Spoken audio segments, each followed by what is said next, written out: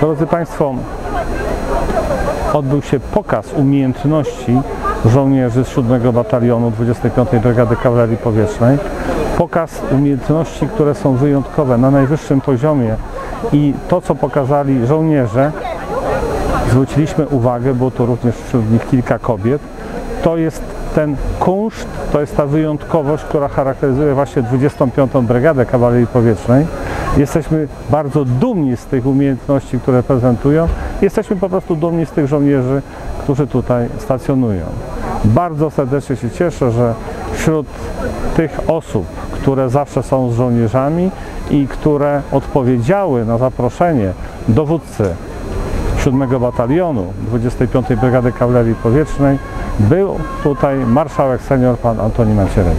Drodzy żołnierze, życzę Wam, żeby ta służba Polsce przynosiła Wam satysfakcję, żebyście nie musieli uczestniczyć w takich konfliktach wojennych, tam gdzie giną ludzie, gdzie rzeczywiście dochodzi do dramatów, żebyście mogli na spokojnie ćwiczyć, trenować, zdobywać umiejętności oczywiście nie tylko fizyczne, ale także te wszystkie taktyczne, które są potrzebne i niezbędne do funkcjonowania w Wojsku Polskim.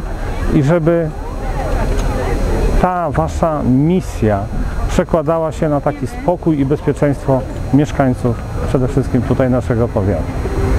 O zabranie głosu poproszę teraz marszałka seniora Sejmu Rzeczypospolitej Polskiej dziewiątej kadencji, pana Antoniego Macierewicza.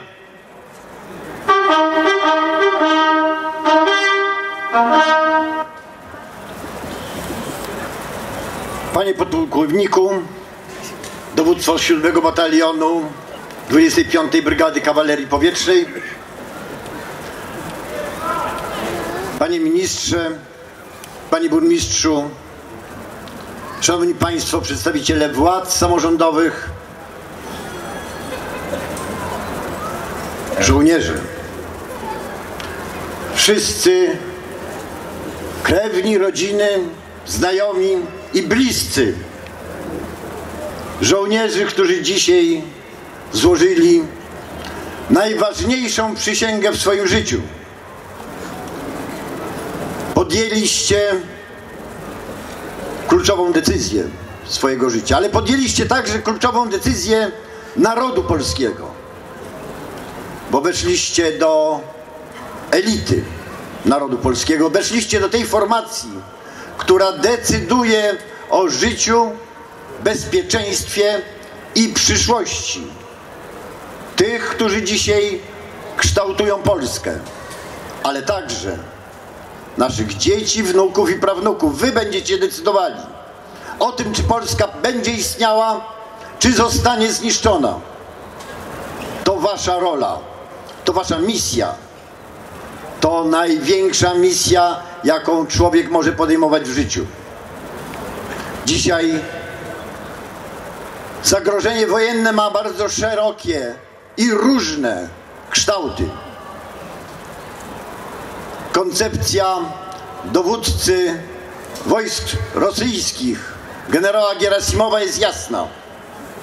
Atak militarny następuje po ataku dezinformacyjnym. Atak militarny następuje po ataku politycznym. Atak militarny następuje po zniszczeniu świadomości, rozbiciu jedności, podporządkowaniu świadomości narodowej tego, kogo atakujemy, wojskom rosyjskim, państwu rosyjskiemu. Tym, którzy dążą do tego, żeby zniszczyć Polskę, zniszczyć całą Europę. Wy podejmujecie decyzję przeciwstawieniu się temu największemu zagrożeniu, jakie ma Polska i cała Europa od blisko stulecia.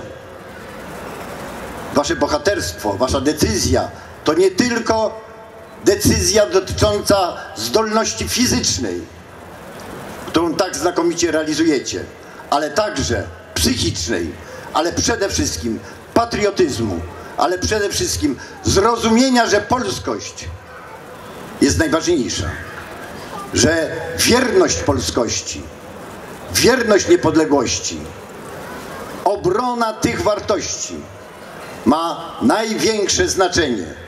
Jesteśmy dumni z Waszej decyzji. Jesteśmy wdzięczni Waszej decyzji. Wiemy, że na pewno zrealizujecie to zadanie.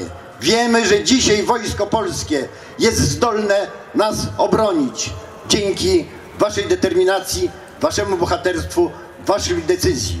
Czołem żołnierze!